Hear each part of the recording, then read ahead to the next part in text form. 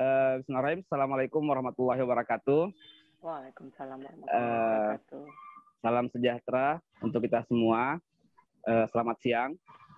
Saya kira mungkin dengan adanya diskusi hari ini atau kita dialog uh, hari ini tuh pandangannya dari Mas Abi tentang jalur rempah sebagai pariwisata dan Mbak Rani juga yang di bagian kelautan, saya kira mungkin saya persilakan untuk uh, sedikit menyampaikan. Ya, saya diberikan itu kurang lebih 10 menit. Ya, saya persilakan ke Mas Abiar dulu. Abiatar. Kasih Mas Iqbal. Uh, aku mulai dari mana ya? Uh, aku gini dulu deh. Aku mewakili Classic Beans sebetulnya. Classic Beans itu sebuah kooperasi pengolah kopi hmm, pasca panen. Jadi kopi itu yang banyak orang mungkin nggak tahu itu kan buah sebetulnya. Nah buah itu kita olah lalu nanti kita jual ke tukang sangrai. Anggaplah aku tukang beras yang nyuplai ke tukang nasi goreng gitu. Oh.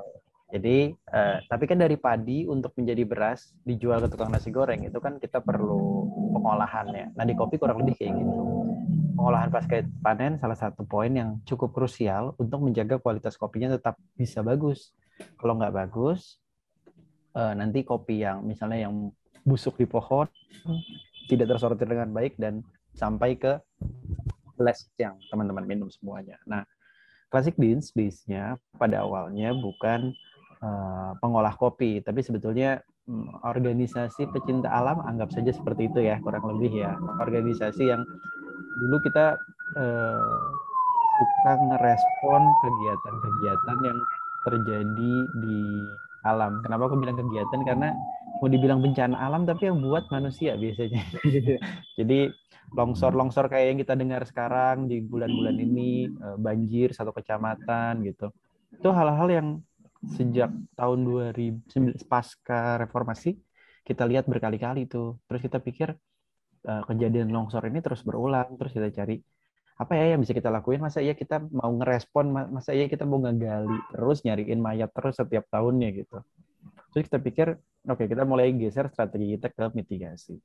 Nah ketika mitigasi dilakukan kita mulai gerak di lapangan nanamin pohon um, ada sedikit bisa dibilang resistensi dari masyarakat ya. Karena ternyata ada sudut pandang yang nggak nggak berhasil kita um, pecahkan di masyarakat.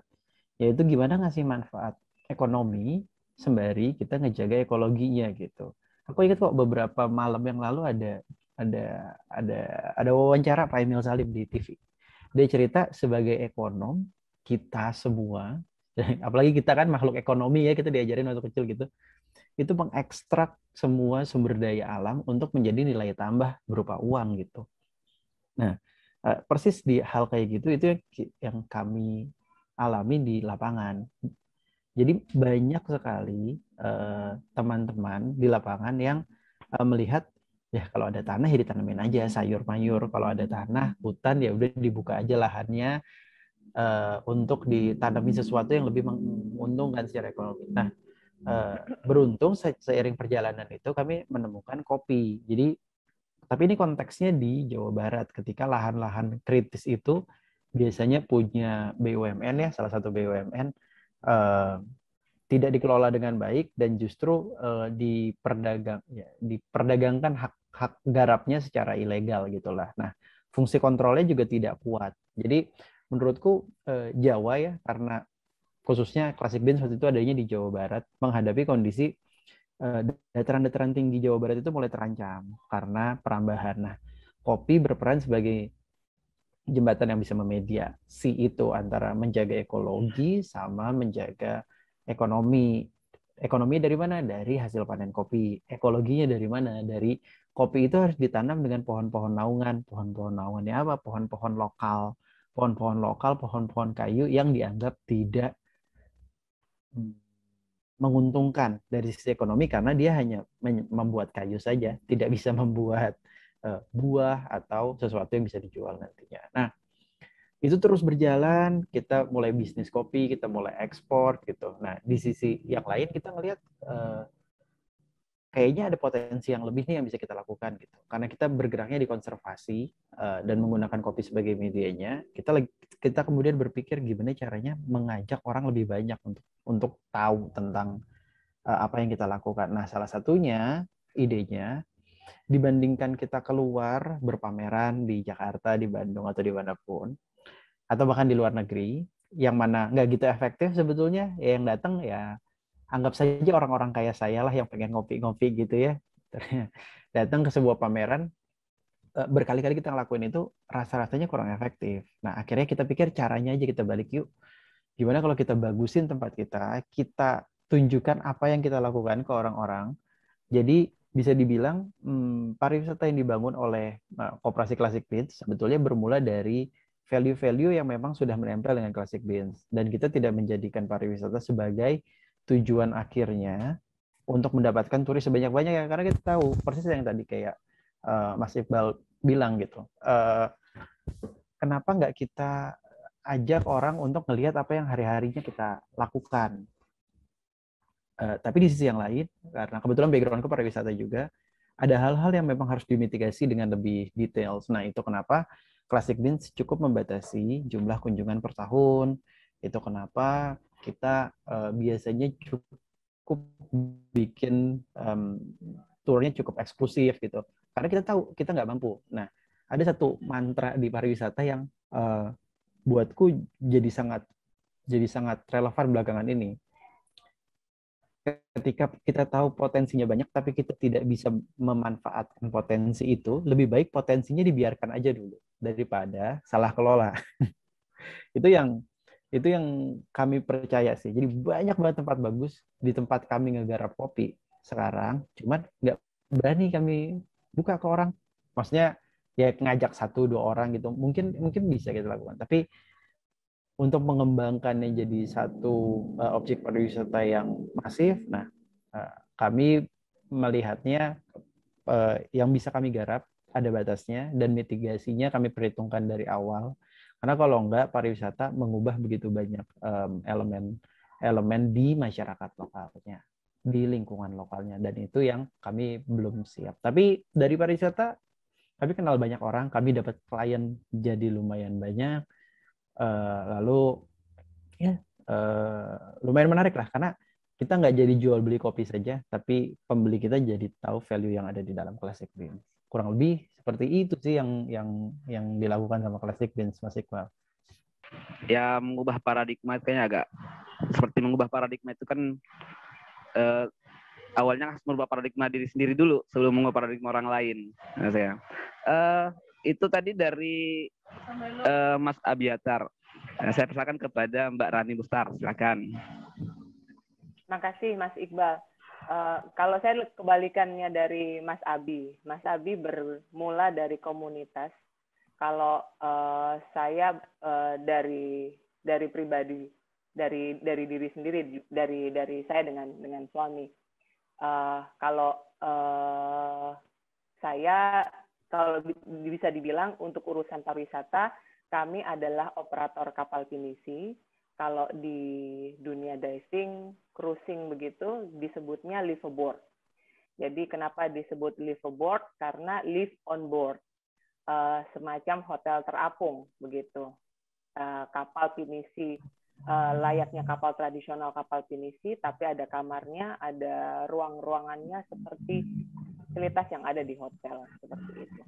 Kenapa kita mulai dari situ? Uh, saya uh, karir saya sebenarnya dari dunia jurnalisme. 15 tahun saya jadi wartawan di Bisnis Indonesia. Kemudian dua tahun saya bergabung dengan Bloomberg TV, uh, apa uh, TV internasional. Terus kemudian uh, kami, saya dengan suami, uh, suami saya environmentalist. Suami saya uh, lebih lebih banyak bekerja di lingkungan. Awalnya beliau mendirikan Greenpeace Indonesia, kemudian sekarang kita punya yayasan sendiri namanya Yayasan Ekonusa. Nah, eh, perkenalan kami dengan laut sebenarnya karena kami sama-sama diving. Jadi eh, tahun 2004 eh, saya pernah diajak salah satu dirjen, salah satu pejabat di Kementerian Kelautan dan Perikanan, Bapak Alex Retraubun, beliau adalah direktur pulau-pulau kecil. Saya uh, diajak beliau ke Raja Ampat. Pada saat itu Raja Ampat baru pertama kalinya mekar menjadi sebuah uh, kabupaten ya, eh, menjadi ya uh, keluar uh, keluar dari Sorong menjadi kabupaten sendiri. Awal-awal Raja Ampat masih belum ada kantornya dan masyarakatnya juga uh, masyarakat sudah banyak di situ, tapi pemerintahannya baru setup baru mulai. Kemudian saya bercanda dengan Pak Alex, Bapak ngapain pada saat itu Raja Ampat sudah terkenal sebagai uh, uh, salah satu destinasi laut yang terkenal di dunia ya karena sudah ada beberapa bule-bule itu sudah banyak yang tahu tentang Raja Ampat. Terus saya bilang ke Pak Alex, Bapak ngajakin aku ke Raja Ampat tapi uh, aku belum bisa diving. Nah, akhirnya uh, diajarin diving 2006 mulai sertifikasi diving, kemudian ketemu suami saya di uh, beliau juga waktu itu kampanye uh, melawan kelapa sawit di Greenpeace. Uh, kita ketemu di Bali. Pada saat itu kemudian kita pergi diving ke mana-mana dari dari Sabang sampai dari Sabang sampai uh, Manado lah, istilahnya begitu. Kita diving di seluruh tempat yang uh, bisa di diving di Indonesia. Dan akhirnya uh, kita punya satu keinginan yang sama bahwa kalau ada rezeki kita harus punya dev center. Kalau ada rezeki kita uh, punya tempat yang di pinggir laut. Ditambah lagi impian suami saya sebenarnya karena dia lahir besar di Papua. Dia orang dia darah Enrekang tapi dia lahir besar di Papua. Oh. Suamiku sangat cinta dengan Papua dan menurut dia untuk membangun Papua itu adalah dengan punya kapal.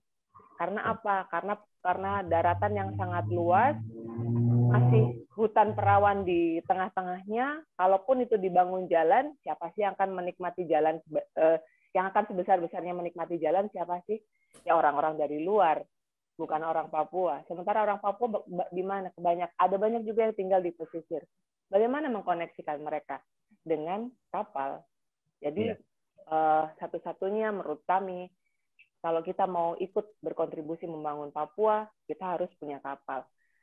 Akhirnya kita nabung-nabung-nabung, uh, uh, akhirnya kita bisa bikin membangun satu kapal.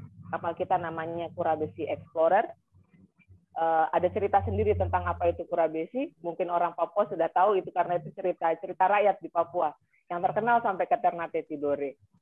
Uh, kapal kita bangun di Tanah Beru 2015 jadi uh, sudah hampir uh, sudah uh, hampir tujuh tahun. Uh, kapal ini kami gunakan untuk awalnya untuk multi purpose boat, kapal yang bisa digunakan untuk apa saja.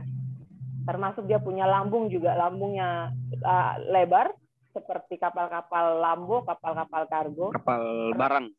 Kapal barang karena kita berpikir juga ketika kita mengkoneksikan satu tempat ke tempat yang lain, kita bisa membantu mereka untuk bertukar bertukar menukar. Apakah itu kita uh, uh, barang atau atau apa pun kebutuhan masyarakat yang ada di situ.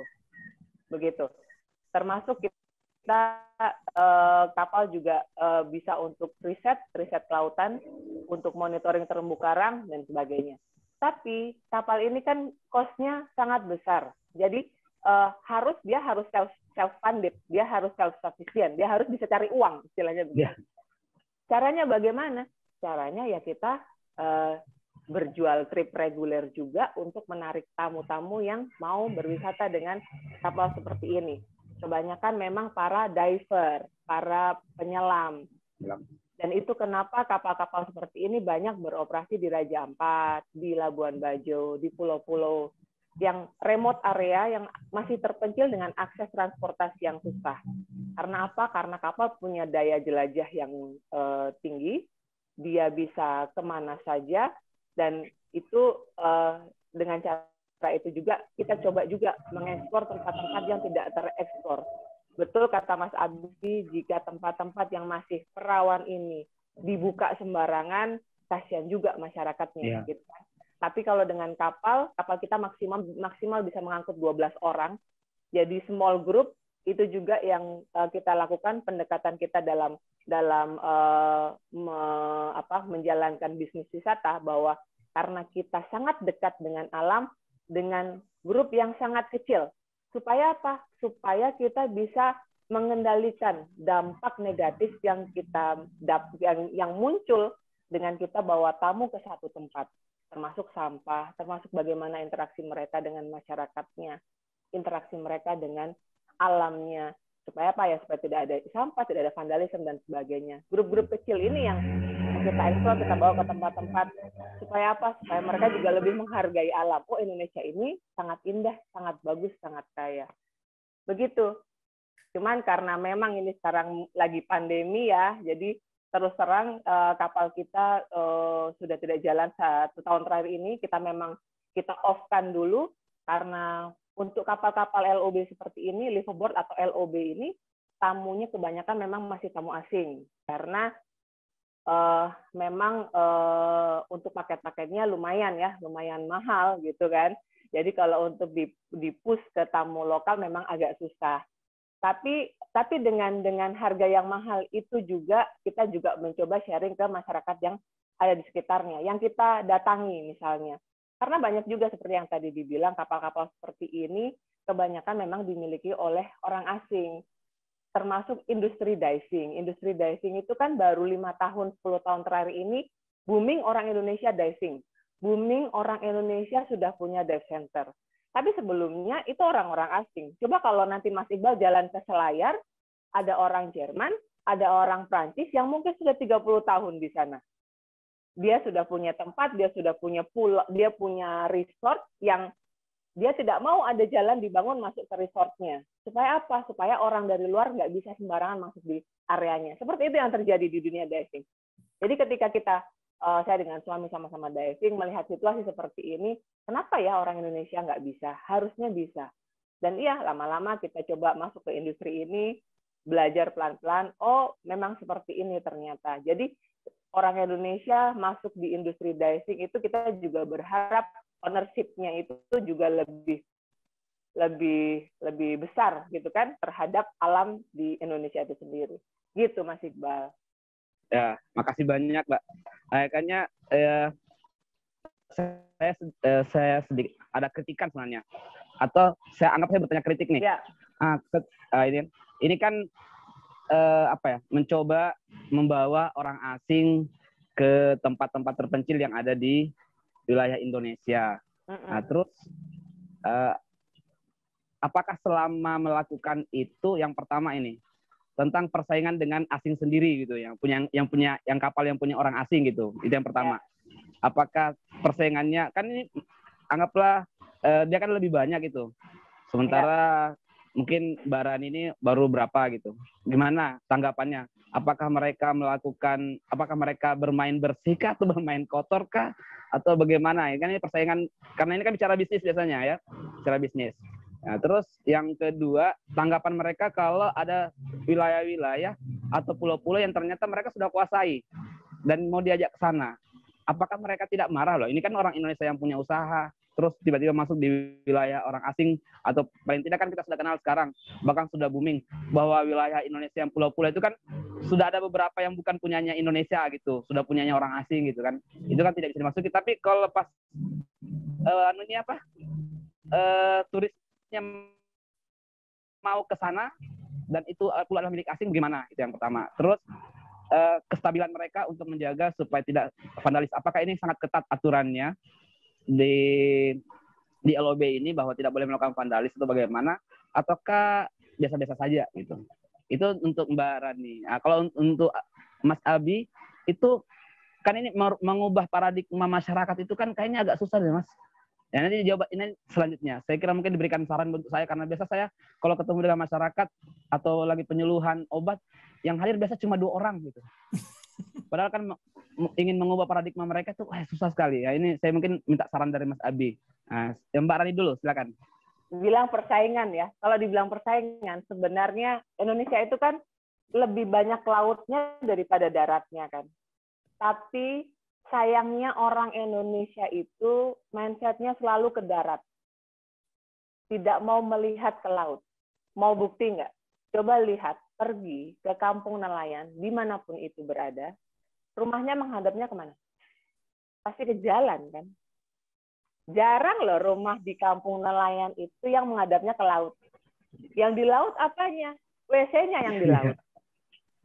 ya kan? Iya. Itu itu harus itu harus pelan-pelan harus kita internalisasi, kita sadari bersama. Kita ini sudah terlalu seperti yang saya bilang, seperti yang Ibu Susi bilang, karena kami sempat uh, saya dengan beberapa teman-teman termasuk Kakak Sleng dan Ridho Sleng kita mem membuat uh, gerakan Pandu Laut Nusantara. Kalau pernah tahu, waktu yeah. itu kan Bu Susi juga kampanye juga. Uh, yeah. Kita sudah terlalu lama membelakangi laut sampai Pak Jokowi juga bilang gitu kita sudah terlalu lama membelakangi laut terus kita bercanda-bercanda misalnya. Uh, ke laut aja deh gitu. Ke laut aja tuh kayak ngomongin barang yang jelek ah lu ke laut aja deh gitu. Padahal kan it, itu membuat kita berpikir laut tuh tempat sampah bukan. Padahal kan enggak gitu. Tapi kita selalu berpikirnya seperti laut itu uh, sesuatu yang buat buang barang-barang yang jelek. Nah itu. Laut Indonesia sangat luas. Dan belum banyak orang Indonesia yang mainnya di laut gitu kan. Main di laut di pantai ya udah gitu doang. Tapi kemudian me mengelola sumber daya yang kita punya sembari kita karena kalau karena kalau orang Indonesia sendiri yang mengolah dengan hati nurani yang baik kan ownership-nya ada di kita nih kita jaga laut kita sendiri gitu. Nah ini apa yang terjadi? Untuk LOB memang sudah banyak asing yang main di situ belum banyak orang Indonesia-nya.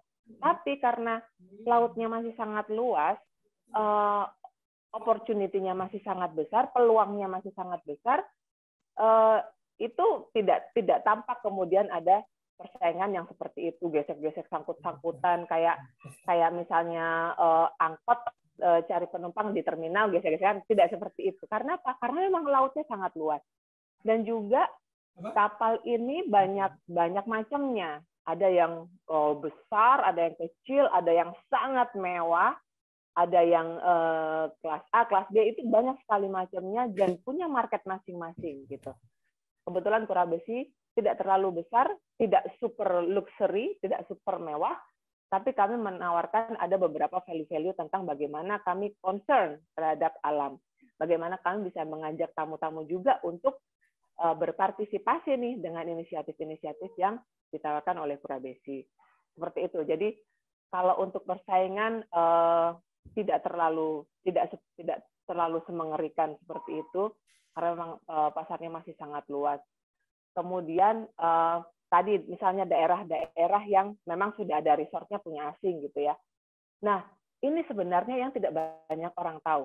Orang itu kalau di laut karena mungkin uh, pelaut-pelaut kita sudah terbiasa ya hidup di laut. Hidup di laut itu environment-nya sangat susah loh dibandingkan di darat.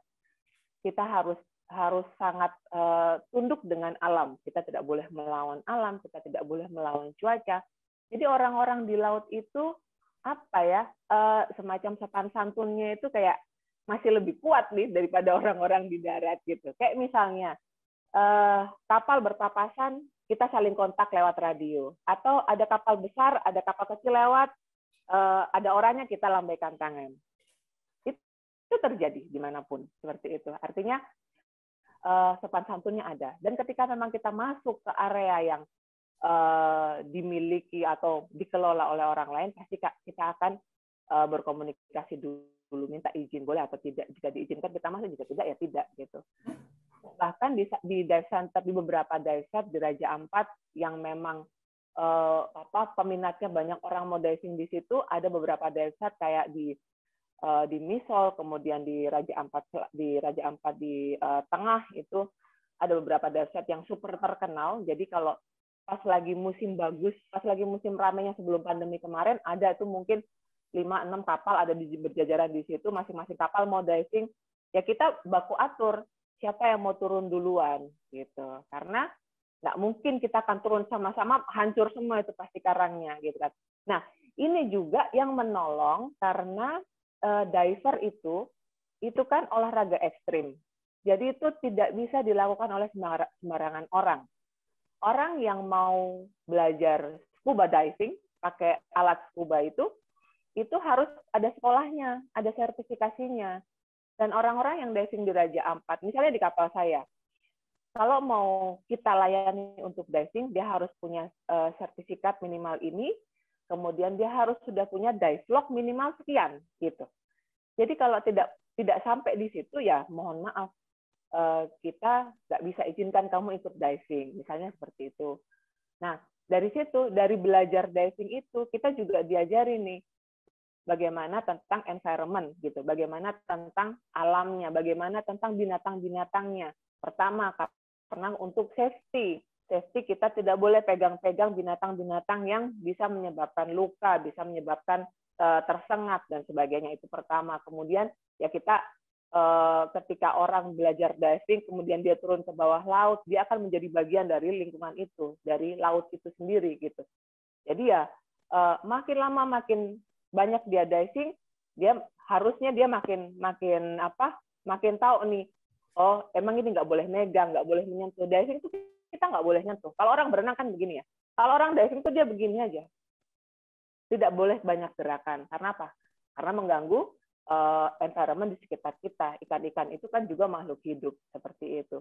Banyak banyak etika-etika dalam diving yang uh, yang kita pelajari dalam diving yang itu memang harus uh, apa diaplikasikan sama diver ya, yaitu misalnya nggak boleh nyentuh, nggak boleh pegang-pegang, nggak boleh diving uh, yang uh, nggak beraturan seperti itu seperti itu. Makanya kalau di komunitas diving ketika ada salah satu foto misalnya orang nginjek karang itu pasti udah rame. Nginjek karang pun nggak boleh gitu kan. Apalagi nginjek karang. Nginjek uh, apa substrat atau uh, koral yang mati misalnya atau pasir. Diinjek-injek sampai pasir naik itu juga nggak boleh. Karena apa? Karena di pasir itu juga ada binatangnya gitu loh. Jadi kalau orang diving beneran uh, dia sekolah beneran, kemudian dia praktek beneran, dia akan tahu bagaimana dia berinteraksi dengan alam yang dia nikmatin itu. Iya. Seperti itu Mas Iqbal. Eh, makasih banyak. Eh, sudah betul-betul menjaga, maksudnya menjaga alamnya. Mas Tabi silakan. Tadi ada pertanyaan mengenai um, bagaimana kita kerja bersama dengan masyarakat ya. Ya. Jadi sebetulnya um, walaupun topik besar kita pariwisata nih hari ini, tapi ya. uh, aku percaya uh, dan yang dilakukan sama Classic Beans adalah uh, kita nggak di konteksnya Classic Beans sayangnya kita tidak bisa memulai langsung dengan um, memberikan exposure kepada Classic Beans-nya maupun kepada ya. kalau istilah kopi itu pada originnya tempat di mana ya. kita ngebuat kopi tersebut. Misalnya di misalnya di Werebo misalnya ya. Dulu pertama kali kita masuk ke desa adat Werebo di Flores itu diajak oleh tim Pak Yori Antar yang iya jadi uh, waktu itu ada perubahan di masyarakatnya karena um, dari yang sebetul sebetulnya uh, masyarakat pertanian perkebunan uh, mereka meng mengolahnya itu kayu manis vanila, kopi uh, untuk makan sehari-hari subsisten dari masyarakat dari makanan yang ada di sekitar kampungnya. Terus ada ledakan besar pariwisata gitu. Nah, itu sedikit mengubah pola pikir masyarakat lah. Nah, akhirnya uh, mereka mengirimkan tim ke Classic Beans untuk kita bantu proses pengolahan pasca panen supaya nilai harga kopinya meningkat karena kualitasnya meningkat dan seterusnya lah. Tapi um, kami rasa waktu itu nggak mungkin pelatihan-pelatihan jangka pendek kayak gitu bisa meningkatkan kualitas kopinya secara signifikan. Dan ini kita pelajari lebih jauh. Kami sangat sadar kalau kita mau meningkatkan kualitas kopi, kopi itu kan panen setahun sekali kan. Iya. Yeah. Nggak mungkin resep pengolahan kopi di Bali, tim kami yang di Bali, atau yang ada di Jawa Barat, kita taruh dan kita pakai di Flores dan pasti enak gitu. Nah, persis seperti tadi kayak Mbak Rani bilang, di kopi pun kita sangat tunduk dengan atau kita sangat harus bekerja sama dengan makro iklim di mana pulau itu ada, bagaimana curah hujan per tahunnya, tapi juga ada yang namanya mikro iklim. Mikro iklim ini makin aku pelajari, makin sangat kompleks gitu. Misalnya di Flores kalau uh, curah hujannya normal gitu, tapi di musim-musim tertentu dia dapat angin dingin dari Australia gitu. Suhu udara di bulan-bulan basah mungkin malam hari bisa di 16 17 derajat tapi di bulan-bulan dingin bisa drop sampai 8 7 derajat. Nah, kondisi-kondisi kayak gitu harus membuat kita melihat lebih dalam, memahami budayanya lebih dalam juga untuk kita ngelihat gimana cara pola kerja yang nyaman buat masyarakat. Nah, ya, nah dari situ kami pelajari satu-satunya cara adalah ya kita harus tinggal dengan masyarakatnya dulu. Kita harus pahami dulu kebutuhannya dia apa. Karena kami sangat sadar nih sebelum kita ngebuka pariwisatanya kan kita ngolah kopinya. Dan kopi itu bahkan bukan walaupun itu sumber ekonomi masyarakat tapi bukan satu-satunya. Yeah. orang jadi nggak bisa tuh hanya ngerjain kopi aja karena mereka yeah. harus punya upacara adat. Mereka kalau misalnya tim kita yang di uh, Sumatera ya mereka harus pergi gereja di hari Minggu atau harus Jumatan di hari uh, apa uh, setiap minggunya atau di Bali bahkan ada acara-acara lagi panen kopi tiba-tiba uh, persiapan upacara adat gitu. Nah, itu semua menurutku tentang kopi itu bukan cuma tentang enak atau enggak enak, tapi gimana kita respect terhadap keseluruhan hidup yang lebih luas daripada kopinya sendiri. Kopi itu ha harus menghargai itu kalau menurutku pribadi ya visiku seperti itu dalam menggarap atau mengelola, mengelola kopi. Nah, konteksnya dengan pariwisata, aku ngerasa uh, kopi itu memang sangat isu yang sangat seksi lah ya dengan dengan segala uh, dinamika sosial di masyarakat. Kopi itu sesuatu yang sangat seksi lah. Aku bahkan ingat sampai, bahkan sampai ada filmnya kan?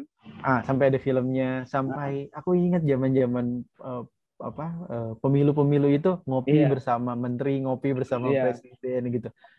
Uh, kop, ladang kopi dibuka di mana-mana. Tapi um, buatku uh, bagus dan tidak bagus juga ya. Uh, maksudnya nggak bagus gini, karena Indonesia harus sangat sadar posisinya sebagai origin.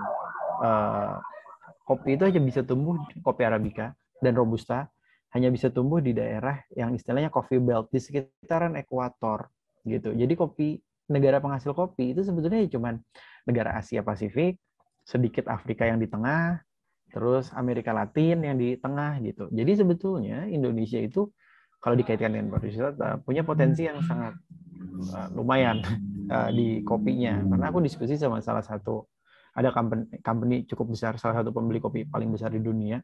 Dia bilang kita tuh tetap harus membeli kopi dari Indonesia. Kenapa? Karena hanya di Indonesia kita bisa ngebawa tamu-tamu kita, media-medianya untuk datang gitu. Di Afrika mungkin mereka punya isu dengan kemiskinan dan uh, uh, apa gender equality. Di Amerika Latin mereka punya dengan isu lingkungan karena mekanisasi. Di Indonesia kopi itu digarap sebagai istilahnya hutan talun, sebagai hutan penyangga antara hutan primer dan desa gitu. Dan dan di situ menurutku posisi yang sangat unik buat Indonesia karena kopi di Indonesia dikerjakan oleh 96% petaninya adalah petani rakyat. Sedikit sekali perkebunan besarnya, jadi bisa dibilang kopi Indonesia itu kopi yang sangat beragam. Menyeragamkan kopi Indonesia itu ya seperti kita menyeragamkan, menyeragamkan orang Indonesia hampir tidak mungkin. Justru kekayaannya ide aku sebagai petani, ide misalnya Mas Iqbal sebagai petani pengen menggarap kopinya seperti apa, dicampur dengan tanaman apel kayak atau tanaman cabai kayak itu ya kalau kata orang kita kan ya terserah kebun-kebun gue kok mau aku campur mau aku nggak urus juga kebun-kebun gue itu di satu sisi ya ya di satu sisi bagus di satu sisi nggak bagus tapi kompleksitas rasa kopi Indonesia diversifikasi eh diversitas rasa Indonesia ya datangnya dari situ gitu gitu juga ketika kita mulai bawa turis ke sana gitu. It, udah jadi nggak penting lagi tentang kopinya. Tapi yang penting adalah tentang ngelihat semua nilai semua hal yang begitu kaya dari Indonesia di sekitar kopinya. Jadi itu sudut pandang yang selalu aku bawa kalau aku ngajakin teman-teman uh, yang ingin belajar tentang kopi ah masih ya ini mantap ini kopi budaya, laut budaya. Ah, hal yang sangat mantap sebenarnya. Cuma mungkin uh, menurut saya kalau kita istilahnya di teman-teman uh, apa nongkrong itu hanya memang hanya sedikit orang-orang yang berpikir jenius melihat kondisi sekarang. Nah, saya kira mungkin Mas Abi sama Mbak Rani di antara orang-orang tersebut. Semoga apa yang diusahakan ini menjadi hal yang sangat bernilai positif dan bertahan lama. Karena kalau ya semoga dengan segala sesuatu yang dilakukan ini itu kalau saya secara Islam mengatakan membawa berkah dan berberkah gitu nah, dalam bahasa kami gitu kan. Nah, tapi kalau amin. ya amin gitu. Terus uh, ya, jadi saya kira mungkin ini ini juga uh, karena saya uh, baru dua kali ikut Everest dan baru berkenalan dengan Mas Bram di dari Negeri Rempah Foundation, akhirnya saya makin sadar bahwa ternyata Indonesia ini atau Nusantara ini sudah dari dulu kita dilirik dan sudah dari dulu sudah kaya. Nah, iya dan mungkin karena uh, penjajahan yang terlalu lama, akhirnya banyak beberapa hal yang mungkin sudah hilang dan dilupakan dan semoga dengan adanya uh, pagi hal-hal seperti ini tuh semuanya bangkit kembali dan kita bisa tetap menjadi pagi negeri yang dirindukan. Uh, jadi bukan sebagai tempat penjajahan atau mungkin diambil barang-barang tapi yang dirindukan. Jadi dat orang datang untuk melepas, melepas rindu dan ketika pergi itu tetap dirindukan datang untuknya. Jadi tidak untuk dirusak. Karena kalau segala sesuatu yang dirindukan pasti itu akan dijaga menurut saya. Ya seperti itu, istri, kalau boleh nambahin Mas Iqbal, sorry aku. Ya, silakan, silakan. Uh, Mas Adi kemar tadi juga bilang uh, Pak Emil diwawancarain sama Rossi ya kemarin, yeah. dan beliau bilang bahwa Indonesia itu kalau di luar negeri itu di uh, di dam di apa uh, dikagumi gitu kan. Yeah. Tapi begitu di dalam negeri orang kita sendiri yang ngerusak gitu kan. Nah, Aida. sebenarnya sebenarnya tadi yang disebut sama Mas Iqbal bahwa uh, uh, saya dengan uh, Mas Abi melakukan hal-hal begini.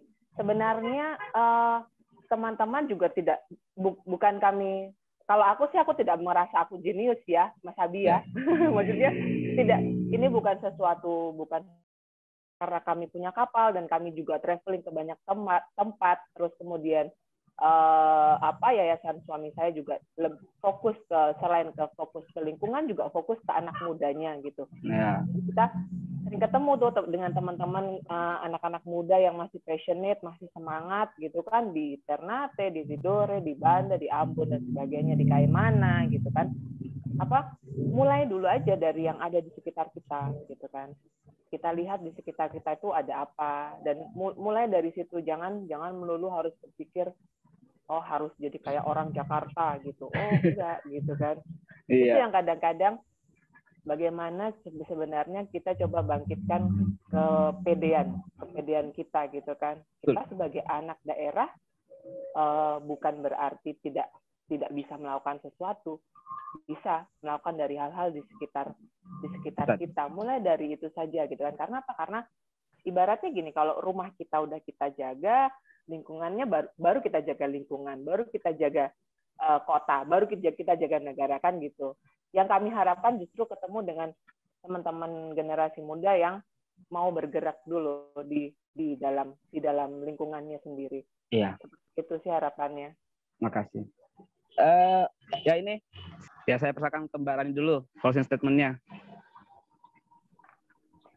Uh, yang aku bilang tadi sih apa kita ini uh, Indonesia itu punya dianugerahi iklim tropis, dianugerahi tanah yang subur, tapi kalau dari kita sendiri tidak tahu bagaimana menghargai karunia yang diberikan, itu akan menjadi sia-sia juga. Jadi uh, alam itu bukan sesuatu yang alam itu nggak akan minta-minta kita jaga kok gitu kan. Alam tuh nggak akan berharap kita harus begini enggak. Tapi alam itu sudah memberikan semuanya. Alam itu alam itu sudah uh, daya dukung alam itu cukup untuk kita. Yang penting kita jangan serakah aja gitu. Ya. Dan ketika alam sudah memberikan apa yang uh, untuk kita, untuk kita hidup, untuk kita bernafas, untuk kita makan, ya sudah sepantasnya kalau kita kembalikan lagi apa yang kita ambil itu ke alam. Saya pikir itu di dalam semua uh, keyakinan dalam semua agama itu disebutkan sih tentang bagaimana kita berbuat baik terhadap uh, makhluk hidup di sekitar kita. Ya. Makasih Mbak. Silakan Mas Abi. Ya, uh, makasih waktunya. Um, aku tuh kan ngegarap kopi timnya Classic Beans itu di banyak daerah di pegunungan-pegunungan di yang bagus-bagus banget di Indonesia gitu mungkin tempat-tempat yang nggak bakal pernah kita datangi kalau bukan untuk kerja atau terpaksa atau nyasar lah kayak nah. gitu ya. Dan uh, aku ngelihat uh, banyak ya uh, hal di negeri ini yang uh, gimana aku bilang ya. Yang sebetulnya kita tidak bukan kita lupa tapi nggak mau kita lihat lagi gitu. Kita tuh melihat satu-satunya jalan kemajuan itu seperti yang dirumuskan di atas buku ekonomi misalnya atau di atas ini jalan kemajuan tuh menujunya ke sana gitu. Padahal kita lupa bahwa maju itu ya bisa nyerong ke kanan sedikit, bisa nyerong ke kiri sedikit, bisa mau jalannya lari atau jalannya lambat gitu. Dan buatku yang paling menyenangkan dari dari negeri ini menurutku um, apa ya kita tuh kita tuh berbak mungkin kita nggak begitu berbakat ya jadi negara maju gitu ya tapi kita berbakat jadi negara yang bahagia gitu. Karena karena kita punya matahari banyak banget gitu. Dengan matahari banyak kita punya kopi kita punya alasan untuk meminum kafein dan memproduksi endorfin lebih banyak gitu. Terus kita bisa punya tanah kita sangat subur secara yeah. teori kacang-kacangan kita juga tumbuh banyak gitu. Tapi ya balik lagi ya dagelannya aku suka bilang uh, ya udahlah Indonesia mah gak usah maju-maju amat. Yang penting kita bisa bahagia gitu hari-hari gitu. Dan buatku um, aku ngutip pembicaraannya Pak Hilmar Farid nih jadinya. Dia bilang seberapa jauh kita mau ngelihat diri kita itu seberapa jauh kita narik busur panah Indonesia? Mau sampai mana nih? Mau sampai tahun cuman 45 ketika kita merdeka?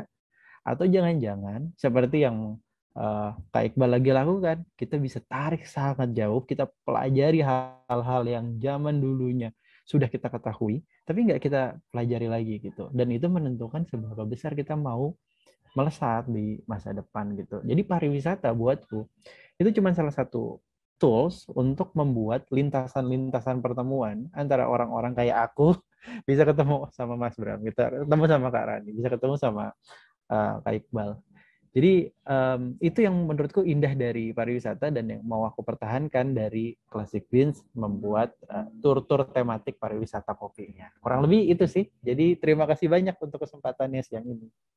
Mantap, mantap. Terima kasih banyak juga untuk Mas Abiatar sama Mbak Rani Mutar uh, pada siang ini sudah bersedia menyempatkan waktunya berbagi informasi, berbagi pengalaman dan memberikan uh, apa ya motivasi ya motivasi karena saya kira motivasi itu paling penting karena kalau tanpa motivasi uh, orang mungkin kalau orang lumpuh tanpa motivasi mungkin sudah bosan hidup nah tapi karena mungkin dia punya motivasi segala sesuatunya pasti bisa apalagi saat sekarang ini kan Pak, ilmu itu bukan hanya di kaki. Kalau kita jalan pergi ke sekolah, ilmu itu sudah ada di tangan. Tinggal bagaimana tangan ini bisa bergerak.